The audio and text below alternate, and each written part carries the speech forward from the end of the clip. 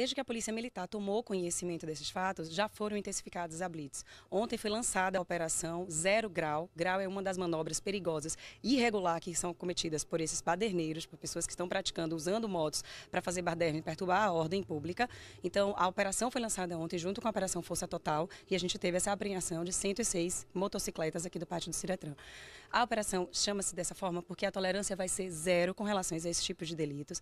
A gente ouve falar de outros que podem acontecer, mas a Polícia Militar, com toda a equipe de inteligência, está monitorando, inclusive os responsáveis por esses levantes, por esses agitos, né, ainda aqui nas redes sociais. E aqui em Vitória da Conquista, além de uma equipe muito boa na inteligência, nós temos também câmeras com reconhecimento, reconhecimento facial, o que vai facilitar muito, aliás, já está facilitando o trabalho da Polícia Militar. Bom, a prática do rolezinho em si já pode ser considerada uma inflação, pois trata-se de um evento organizado sem a permissão. Isso está tipificado no artigo 174 do Código de Trânsito Brasileiro, além de utilizar os veículos de forma deliberada para perturbar, interromper, restringir a circulação na via, é um artigo novo 253A do CTB, e além disso as práticas que são que ocorrem, né, de circular em contramão, de, de empinar a moto, que é o grau, o rantatã, e diversas outras que eles apelidaram aí, que são práticas irregulares. Eu estou falando de multas gravíssimas, que começam com R$ 2.900 até R$ 5.800. Então, a Polícia Militar, durante essas operações, a operação Zero Grau vai atuar de forma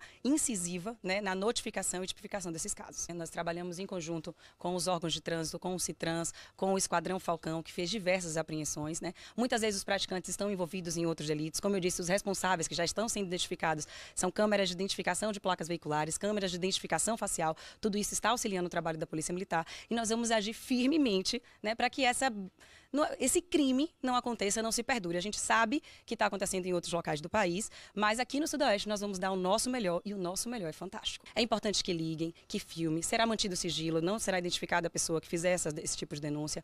No caso das filmagens, a gente consegue identificar com as placas, às vezes né, com, pelo, pelo rosto. Como eu disse, existem pessoas que estão envolvidas nessas práticas, envolvidas em outros tipos de crime, crimes de maior potencial ofensivo, e nós iremos agir com todo rigor. Já estamos com a operação montada todos os dias da semana, toda, durante as 24 horas, de manhã até de noite, madrugada. A Polícia Militar estará a posto, estará realizando operações com oficiais militares à frente também, para que a gente tenha um melhor emprego da nossa tropa e a gente cobre né, e consiga dar essa resposta para a sociedade e retomar a nossa paz social.